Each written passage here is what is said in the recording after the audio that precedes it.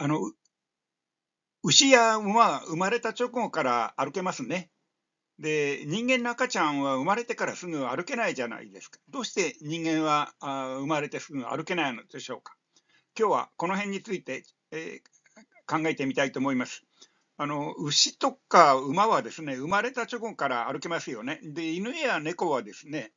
まあ、あの飼われているもの、あるいは野生にかかわらずですね、妊娠期間が短くて、一度に複数の赤ちゃんを産みますね。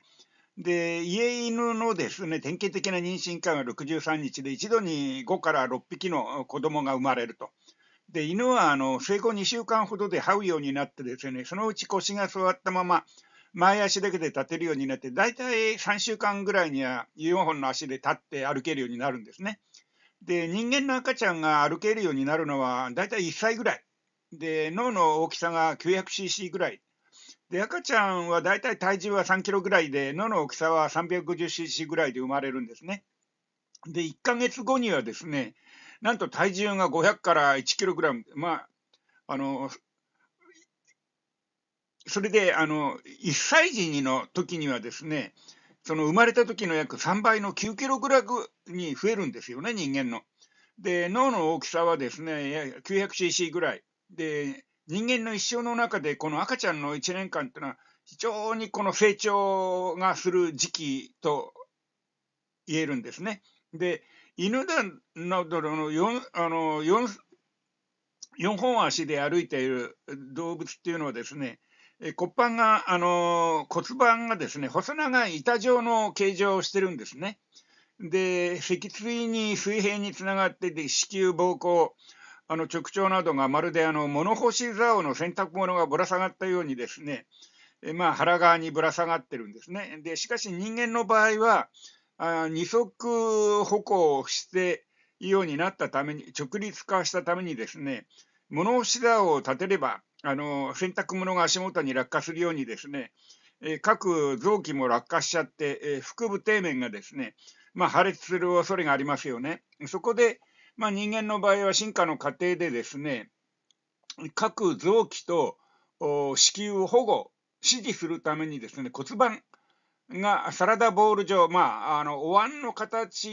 になって進化したんですね。つまりしっかりとした骨でまあ、囲ってしまったわけで、サラダボウルの底はですね、排便、排尿のために骨ではなくてですね、筋肉で覆われてるんですね。で特に女性は出産のためのですね、産道を確保する必要があるために、男性とはその骨盤の形が異なって、男、男性はハート型なんですが、女性は楕円形に進化したんですね。女性の骨盤はですね、出産時にはま緩みますが、容量はだいたい300から 400cc で、これ以上大きくなると、まあ、二足歩行に支障が出ると言われてるんですね。まあ、進化の過程でこういう具合に、えー、その四つ足で歩いている頃と、まあ、直立して二足歩行になった段階でですね、この骨盤の状態が変わったということですよね。で、赤ちゃんが歩行可能になるまでお腹の中に滞在すればですね、赤ちゃんの、まあ、脳容量は、まあ、900cc ぐらいまで巨大化してですね、骨盤の容量300から 400cc ははるかに、まあ、超過しちゃうんですよね。えー、ですので、人間の赤ちゃんの脳はですね、骨盤の大きさ約 350cc ぐらいに合うようにして生まれてくる。だから未熟の状態で生まれてくると言ってもいいと思いますよね。えー、それで、この1回、1年間ぐらいかけてですね、まあ、900cc ぐらいになって、ようやっと、まあ、歩けるようになるというのが実情なんですね。で、人間の、まあ、特徴の一つは、まあ、知性で多くの人が言葉を話し始めたことでですね、人間が知性を持ったと思われてないでしょうか。人間が言葉を話し始めたのは7万年から10万年ぐらい前だと言われてるんですね。あの学者なんかはそう言ってますね。で人はですね約700万年前にアフリカの地でチンパンジーと、共通の祖先から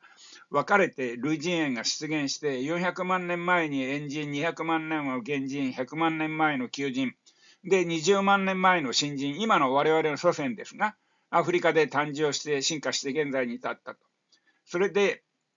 当初のですね、チンパンジーと別れた頃の人間の脳の大きさというのは 400cc と言われたんですが、その後進化の過程で 600cc、1300cc、そしてですね、現在の我々の脳というのは 1400cc あるんですが、これはまあ40万年ぐらい前の求人の時代に完成したと言われてるんですね。で、この頃というのは、まあ、あの人間集団が150ぐらいになった求人の時にですね、言葉がまだ話せない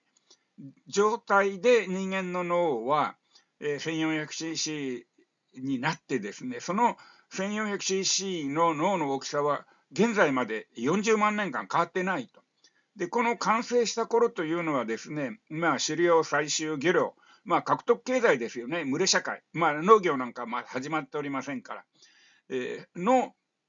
集団での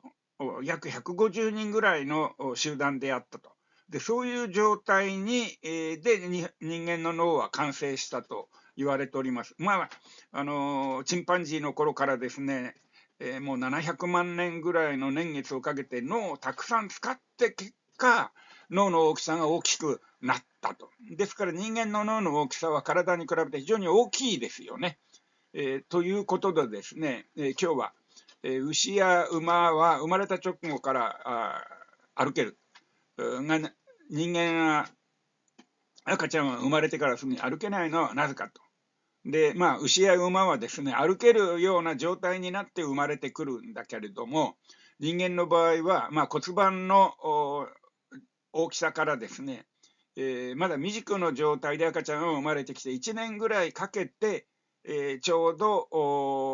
歩けるような状態になって歩くと。ですから人間の場合は生後1年間の成長というのが非常に大きいと。